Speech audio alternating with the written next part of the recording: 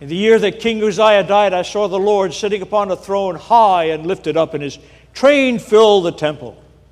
Around him were seraphim with six wings. With two they covered their face, with two they covered their feet, with two they flew. And they called to one another, saying, Holy, holy, holy, Lord God of power and might, heaven and earth is full of your glory. And the threshold shook at the sound of it all.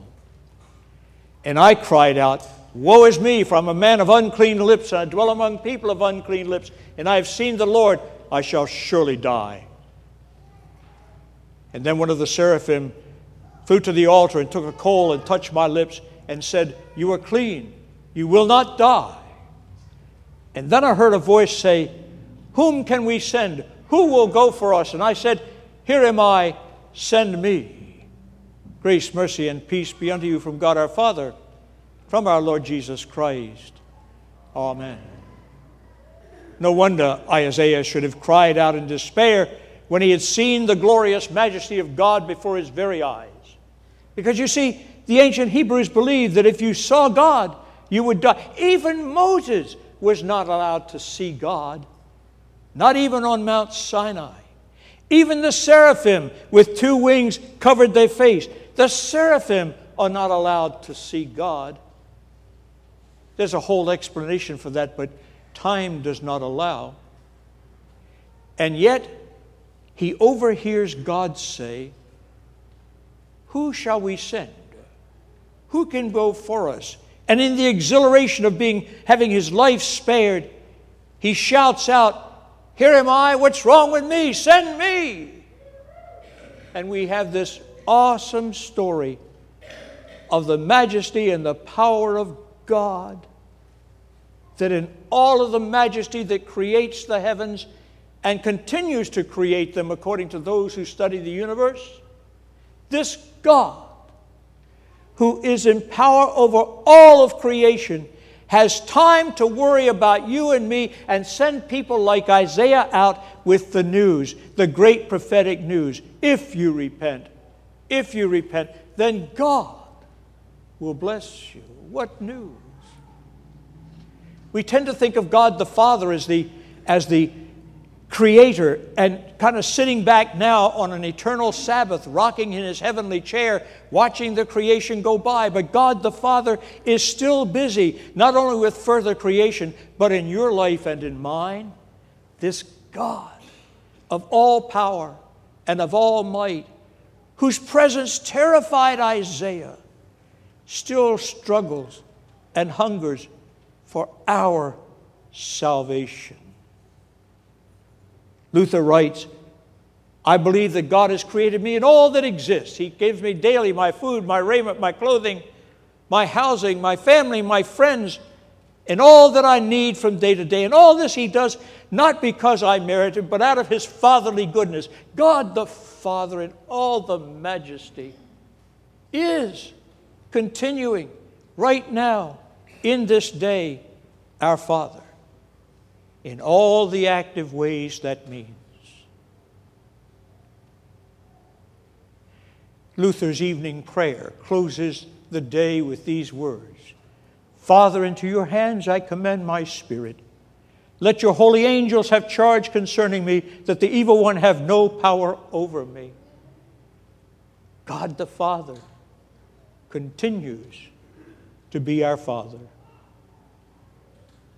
But so active is God the Father, so restless is God the Father for your salvation and mine, that from the very beginning, the Son who was with him in all creation is dispatched to earth. St. Paul will write, Though he was God, he did not count equality with God a thing to be grasped, but emptied himself, took upon himself the form of a servant, and was born like us.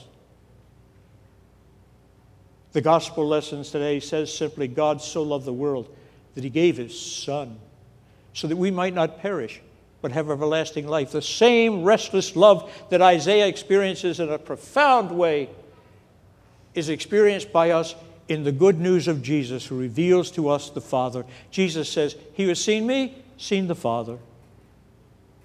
I suppose it would say the same thing to say, He has heard me, has heard the Father. He came to demonstrate God to us and to purchase for us our salvation.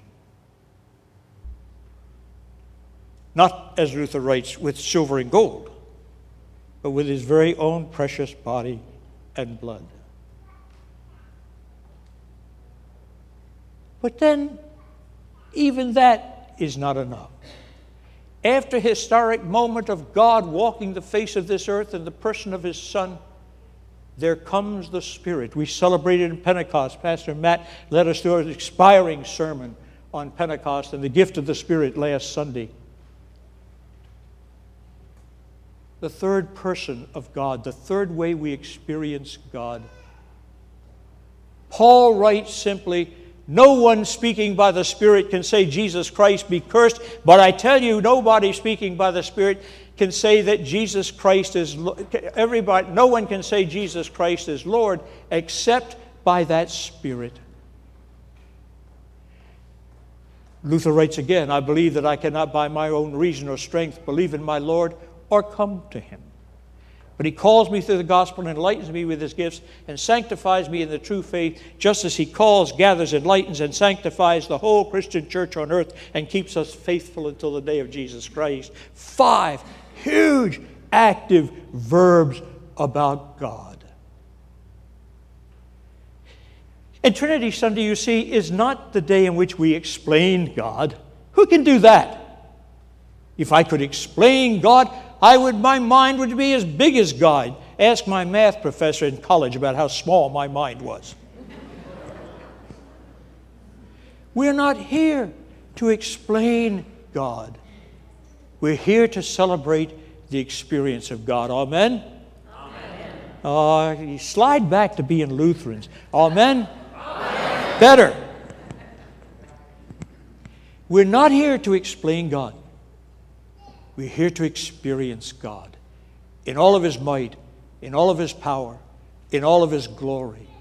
That's why we're here. And what a God this is.